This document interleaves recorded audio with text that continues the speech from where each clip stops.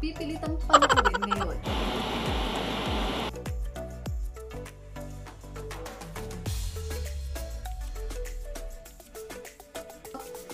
Ang una nating lulutuin ay ang kanyang pampasarap na bagoong.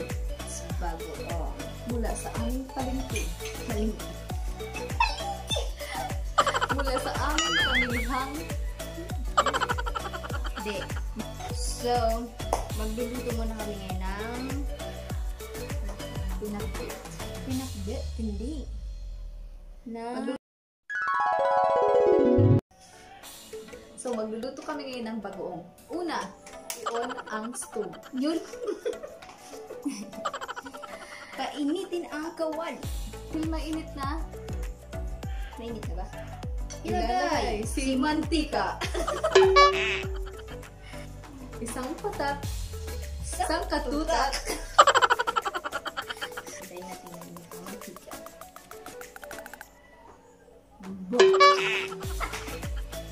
Try natin. Hindi pa siya mainit. Gisahin na mga sumusunod. Ang Unahin po natin ang sibuyas.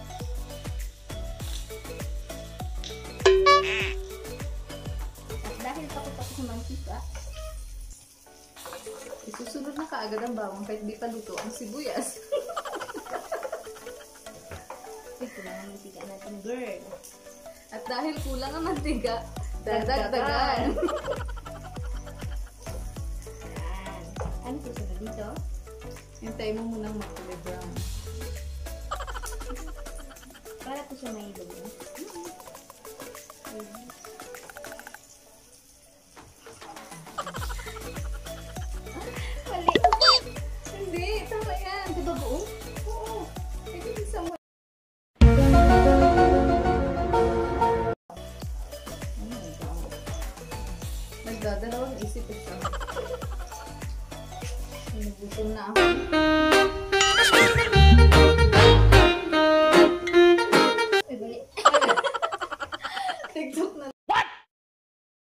Nagutom na ang Bagoong. na kasing bango ng mhm, mabango siya.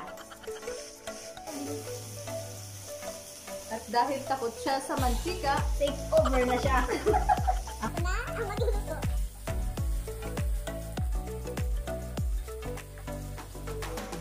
lagyan natin ng asukal. Kunting asukal lang. Para tumilis ng konti. Makoy Kolokoy, wash out nga pala sa'yo. Magpapa-wash out ka sa nakaraan. Okay na ang ating bagoong.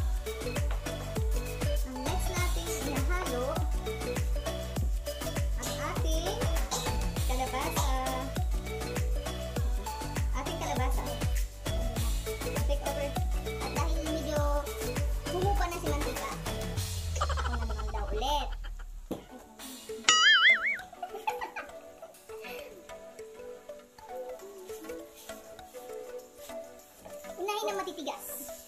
Bago ang malalambot. Yes. Kasi ang matitigas, kailangan palambutin. Okay. Sumunod na matigas.